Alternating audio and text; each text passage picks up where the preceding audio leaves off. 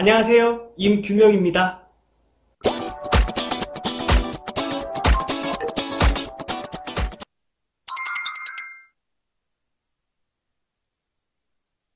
자신이 준비하는 자격증 분야에 대한 자신의 경력 인정 유무에 대해서 확인해 보신 적 있으십니까?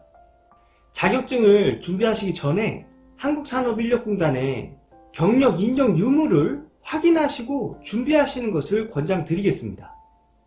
저도 예전에 전기기사 준비할 때 필기 합격을 하고 실기 접수하면서 자격이 되는 것으로 알고 서류를 제출했다가 경력 2주가 모자라서 예전에 일했던 곳의 경력 증명서를 급하게 발급 받아가지고 제출했던 기억이 있습니다.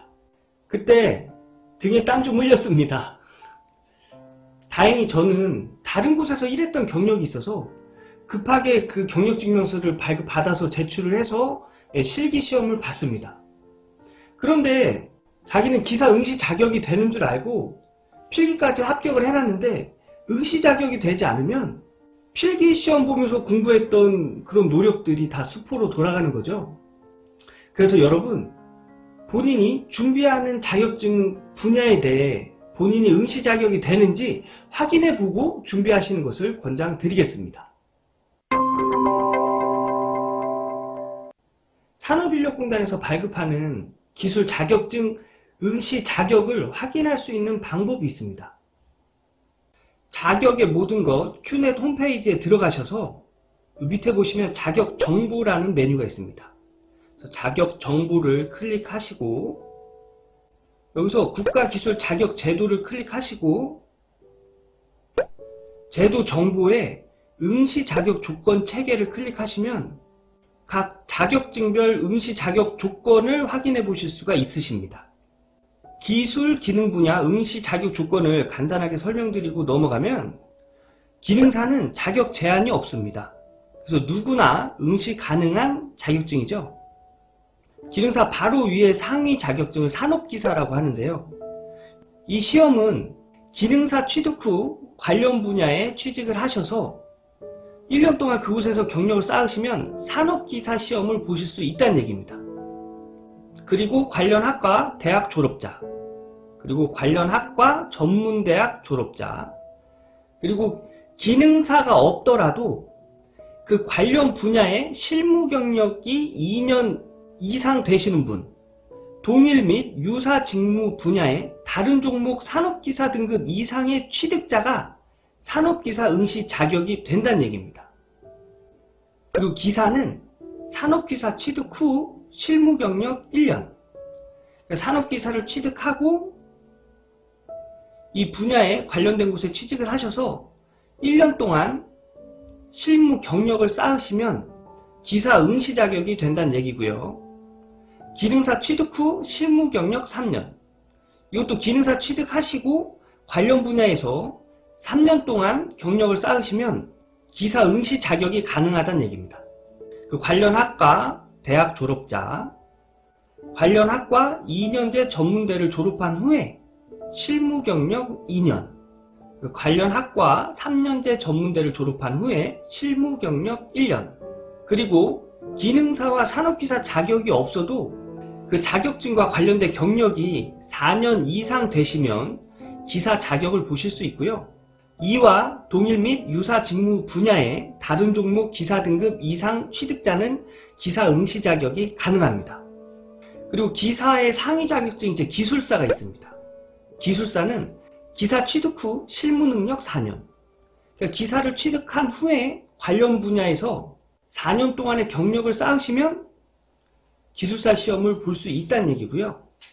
산업기사 취득 후 실무 능력 5년. 이것도 산업기사 취득 후에 관련 분야의 직종에서 5년 동안 경력을 쌓으시면 기술사 시험을 보실 수 있다는 얘기입니다. 예, 기능사 취득 후 실무 경력 7년.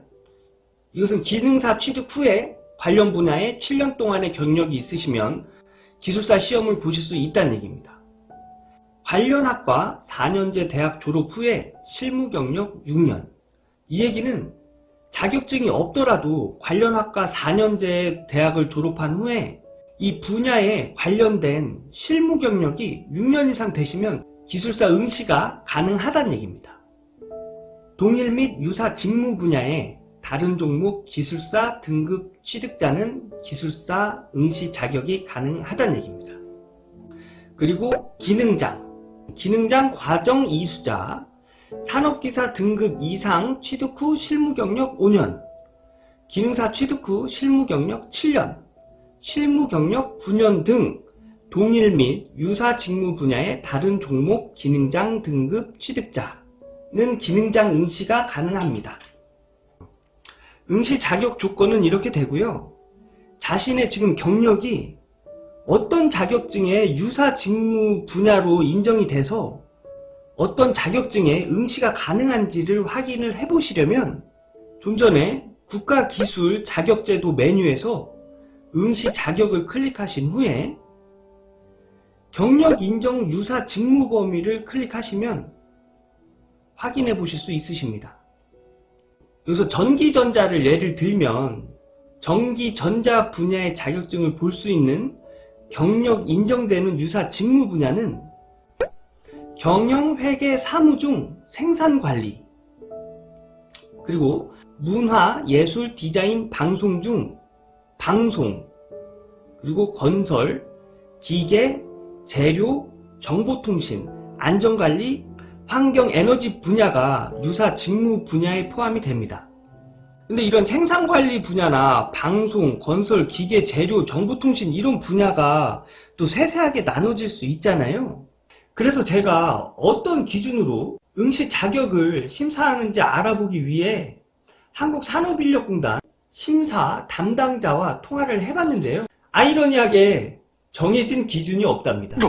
그래서 어떤 방법으로 심사가 진행되는지 제가 물어봤는데 심사에 필요한 서류를 제출을 하면 그 제출된 서류를 보고 그 당사자와 상담을 통해서 그 분야에 관련된 일을 했는지 안 했는지 확인을 하고 그 내용을 가지고 심사를 한다고 합니다. 그 심사를 하는데 좀 애매모호한 경우가 있다는 거는 이해는 가는데 어떤 확실한 기준이 없다는 건 어떻게 보면 심사 담당자의 판단에 의존해서 결정이 내려지는 것 아닌가 하는 생각도 들더라고요. 어쨌든 중요한 건 우리 경력을 확인하는 거잖아요. 그래서 자신의 경력을 확실히 확인하고 싶으신 분들은 산업인력공단 고객센터에 전화를 하셔서 상담을 해보시고요. 산업인력공단에서 필요한 서류를 준비하셔서 제출하신 다음에 그 심사 담당자와 상담을 통해서 정확하게 확인하시는 것을 권장드리겠습니다. 여러분, 돌다리도 두들겨 보고 건너라는 옛 속담이 있죠? 내가 기사 응시 자격이 되는데 산업기사 또는 기능사를 보면 좀 억울하잖아요.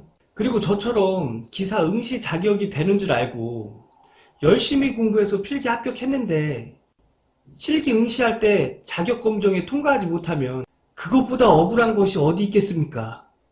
자격증 준비 전에 자신이 응시 자격에 만족이 되는지 확인해 보시고요. 자신이 준비하려는 자격증보다 상위 자격의 응시 자격이 되는지 꼭 확인해 보시고 준비하시는 것을 권장드리겠습니다. 참고로 저는 자신이 응시할 수 있는 최상위 자격증을 준비하시는 것을 권장드립니다. 오늘은 여기까지 하고요. 저는 다음에 더욱더 유익한 영상으로 인사드리겠습니다. 안녕!